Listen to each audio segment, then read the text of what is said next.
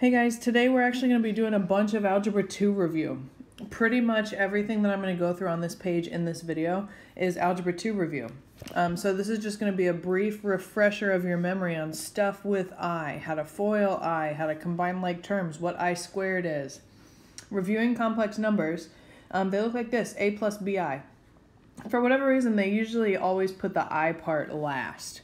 Um, that's just how the textbooks do it. That's how our answer keys and how our tech our um, worksheets and everything look like. And know that the first part without the I is referred to as the real part. The second part with the I is the imaginary part. should also remember from Algebra 2 that I squared equals negative 1, and therefore the square root of negative 1 is just I. Okay? Um, powers of I so i to the first is just i, because anything to the first power is itself. i squared, by definition, is negative 1. And so then what would that make i to the third? Do you agree that it's the same thing as i squared times i, which is actually negative 1 times i, therefore negative i. Okay, and then the fourth one, i to the fourth, isn't that just i squared times i squared? So aka negative 1 times negative 1, which is 1. Keep stuff like that in mind. Again, this should be review from Algebra 2, but those are the first four of the i powers. i to the first, second, third, and fourth. So the review topic here, the goal in order to simplify something that looks like i to the seventh is to change it into i to the fourth times something else. So four i's, but I need to have seven total, which means it's i to the fourth times i to the third. So remember when you multiply things like that, you add exponents. So I'm just rewriting this using i to the fourth because I know i to the fourth is 1. And if I scroll back out, I remember that i to the third, I already simplified that up here, it's negative i. So 1 times i to the third is negative i. So this whole thing, i to the seventh, simplifies to negative i. What about i to the 22nd? I'm going to try and rewrite this as i to the fourth to something. So i to the fourth to the fifth is 20. Then I have two more i's left over. So remember, I just have to think in terms of i to the fourth because that's what equals 1. I need to know how many powers of 4 do I multiply this to. That gives me 5. And so that makes i to the 20th, so therefore there's two more. That equals my original 22. i to the fourth is just 1. So essentially what we did in Algebra 2 is you can just cross that out. 1 to the fifth power is still just 1. So this whole sim thing simplifies to just i squared, which is negative 1. So you're looking for powers of 4, and you can raise that i to the fourth to a certain power in order to um, change it into 1. i to the fourth to the fifth, that gives you 20. If I would have done 6 here, that's 24. That's too many. That's why I did i to the fourth to the fifth. That makes 20. There's two more left. So that's negative 1. Let's do a couple more. i to the 120th. So how many powers of 4 is that? So basically 4 times what gives me 120 or something really close to 120. Well, that's 30 exactly because 4 times 30 is 120 with none left over. So there's nothing there that I need. Therefore, i to the 4th to the 30th cancels. It's just 1 because i to the 4th is 1, 1 to the 30th is 1. Here's something you may have forgotten about. What about negative exponents? So remember what this means is 1 over i to the fifth. And hopefully what you remember from Algebra 2 also is that um, i's work a lot like radicals do. You can't leave an i in the denominator of a fraction. This is not considered simplified. So what I have to do is I have to multiply by a bunch of i's in order to cancel these in the bottom. And so I can only multiply by groups of 4 because i to the fourth equals 1. That's our goal for all of these games that we're playing here with these i's. So I'm going to take this i to the negative fifth, and I'm going to multiply it by i to the something so that I can cancel all of these five i's in the denominator. So if I just did i to the fourth, I would still have a negative i exponent. So what if I did 8? My options are 4, 8, 12, 16, 20. It's groups of 4s. So I'm going to multiply this by i to the eighth. 4 would not cancel all of these negatives numbers. That's why I did 8. And so remember how to multiply stuff with exponents. This is negative 5 plus 8. That actually gives me i to the third.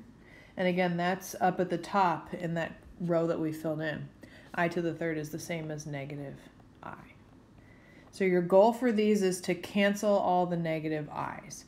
If I could do another example here, um, let's do i to the negative 17, for example. And so I need to multiply that by i to the negative 17 times i to the something so that I can cancel all those negative exponents. Well, if I multiply by 4, it's still going to be a negative exponent. 8, 12, 16. Ooh, let's do 20. Because remember, this is just 1. Because it's i to the 4th to the 5th. That would give me i to the 3rd, which is again negative i. So the goal there is to always cancel all of those i's that end up in the denominator. And you can only do groups of 4s when you're multiplying because that equals 1. Okay, so that was just another side example. Okay, something a little bit easier. Treat i's like x's when you're combining like terms. So don't forget to distribute your minus sign here, but all we're doing um, here is subtracting, aka combining like terms. So that means 7 minus 3i minus 14 plus 2i because it's minus negative. So all I'm doing here, you guys, is I'm combining my like terms. 7 and negative 14 makes negative 7. And then negative 3i and positive 2i makes negative i. And yes, they usually always write the i part last. It's not wrong if you write negative i minus 7, but just get in the habit of staying consistent with what the textbook always does. The i part goes last. Here we're foiling. So what's the difference between the problem we just did and this one? Well, this one had a minus sign in it. No offense, but do not FOIL that out. That means subtract. Over here, we're FOILing. Okay, so very slowly I'll go through this. 5 times 4 is 20. 5 times negative 7i is negative 35i. Negative 2i times 4 is negative 8i. And this becomes positive 14i squared. And so, so far, that's just foiling, pretending like the i is an x, and that's not doing anything different. What you need to recognize here, though, is that i squared is negative 1. Remember that? That changes this sign of the 14. So it becomes a minus 14. So I have 20. I'm going to combine these. That makes negative 43i, and then negative 14, because it's positive 14 times negative 1. So just keep that in mind, um, that we're changing our i squareds into negative negative ones, and that means I can combine this and this, which makes 6, and then minus 43i. I always write the i part last, just because that's technically what you're supposed to do. I told you that i's act a lot like uh, radicals do, and so we have to rationalize this problem, unfortunately. We can't leave this i in the denominator, so what I'm going to multiply by here is 4 minus 3i, top and bottom exactly like we do with radicals. Okay, so I'm going to go through the top slowly.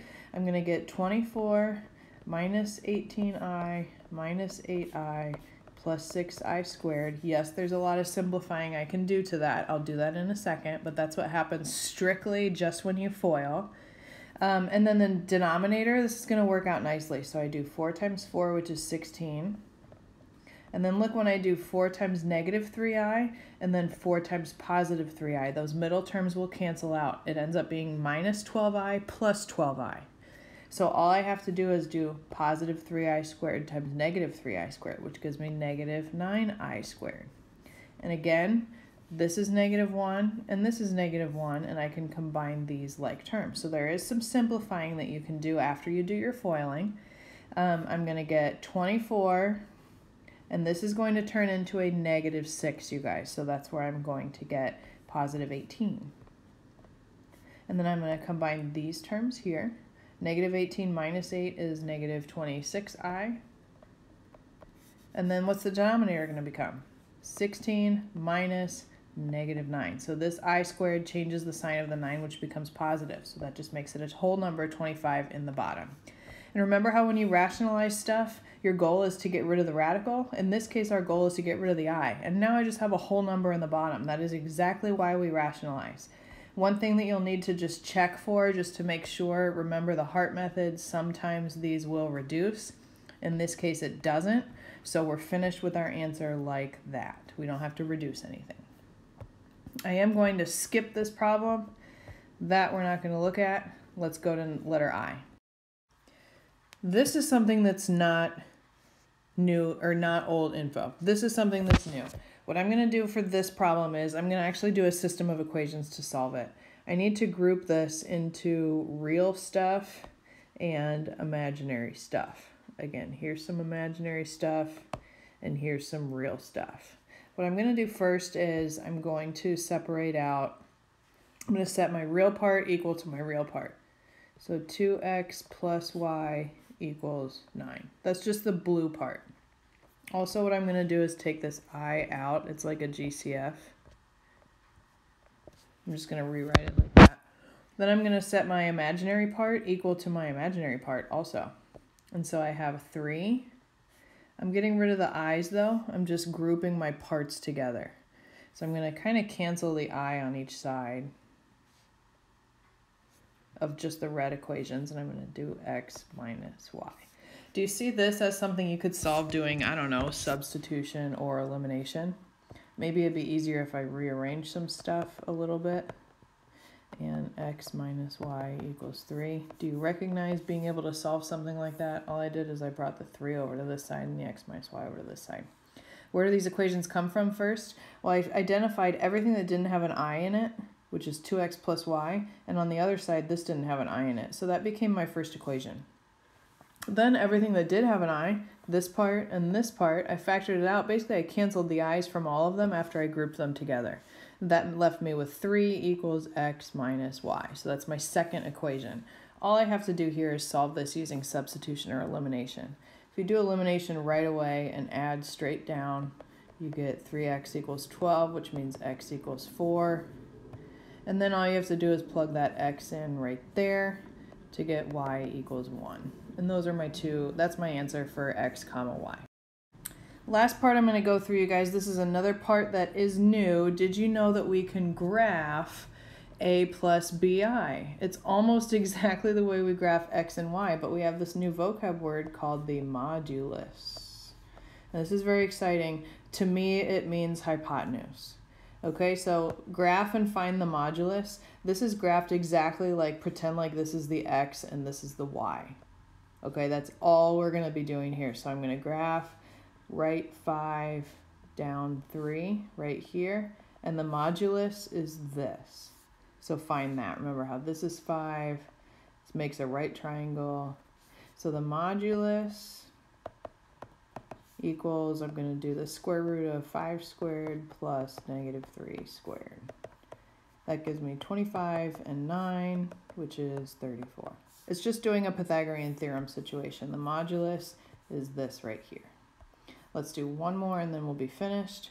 2i, okay, this looks a little bit different, but this is the same as 0 minus 2i. So how would I graph that? I would go left or right 0, and I would go down 2i. Okay, so again, if I'm going to do my modulus, it doesn't really make a triangle, but I can still do the square root of x squared plus y squared. It gives me a modulus of square root of 4, which is 2. That is all for today, you guys. That was mostly review, a couple new things. We will continue tomorrow. Thanks for watching. Have a great night.